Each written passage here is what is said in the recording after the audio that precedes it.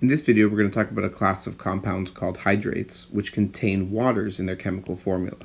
Now, make no mistake, even though water appears in the overall chemical formula for the compound, these compounds will appear completely dry. In one mole of copper sulfate pentahydrate, which is equivalent to 249.7 grams, we will have a mixture of copper, sulfate, and waters. Breaking that down, we'll have 63.5 grams of copper ions, 96.1 grams of sulfate, and 90.1 grams of water.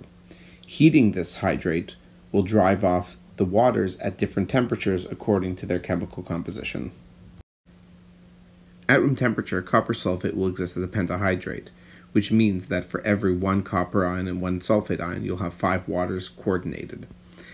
Heating this will allow you to dry the compound However, if you heat it to above 63 Celsius, you will begin to decompose the pentahydrate and make another hydrate.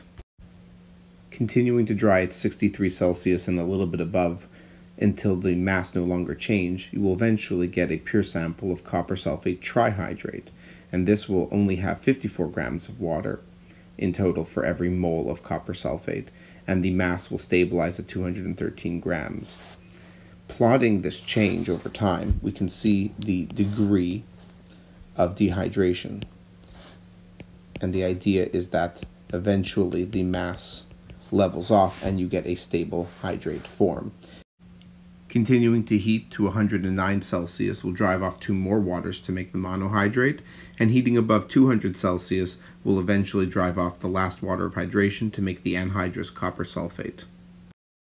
Continuing to heat to above 650 Celsius will eventually thermalize the product to a final thermodynamically stable form, copper oxide, and drive off sulfur trioxide gas.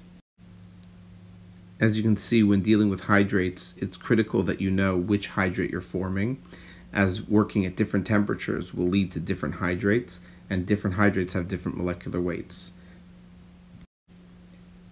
Thank you for watching this video. We hope you found it helpful. For other videos on chemistry and other related topics, please see our website and our Facebook group. Links are in the comments section.